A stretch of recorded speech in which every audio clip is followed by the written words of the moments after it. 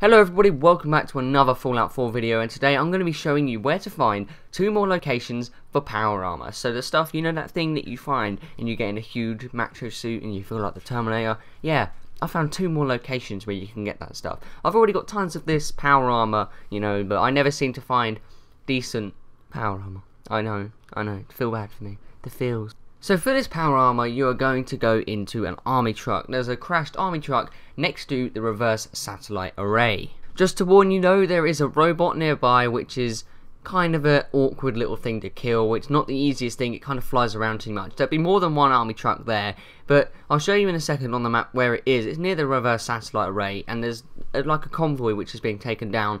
There's a robot who, that one there, right hand side of the screen, he chases you down and he tries to kill you. I didn't do very well in killing him, but here there's a few boxes of ammo, and then you've got the beautiful set of power armor sitting at the back. So on the screen you can see the location exactly on the map where you have to go to get this power armor. Unfortunately I didn't seem to move around but I know it's next to the reverse satellite array and it's to, to, towards the top right hand corner of the map. So if you go up there along one of the main roads you can see which road it is, follow it quite easily and then in the truck you will find the power armor. So to get this power armor you need to go to the military training ground. And to, to actually get into the armory itself you have to be a master lockpicker so if you want to get this power armor then you have to make sure you're that level. And what you do is you go into the into the training ground up towards the crashed plane and there's some crates behind it to the left. And if you go over to there in one of the containers there is a set of power armor. But you also need to be careful because there's an armory just around the corner as well which you can also unlock if you're this level. But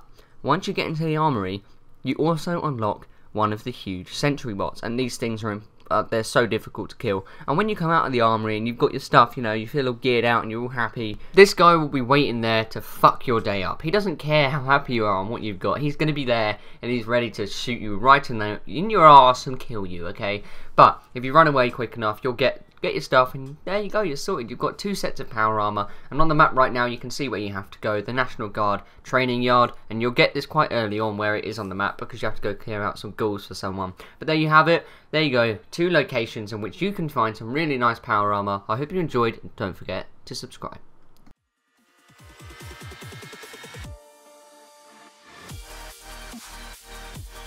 Oh am. I think I'm level 18 or something like that. I don't have the best gear and the best weapons, so you've got to be quite wary when you go into this kind of place, because it is full, full of them fucking bastards, the super mutants, they're just there.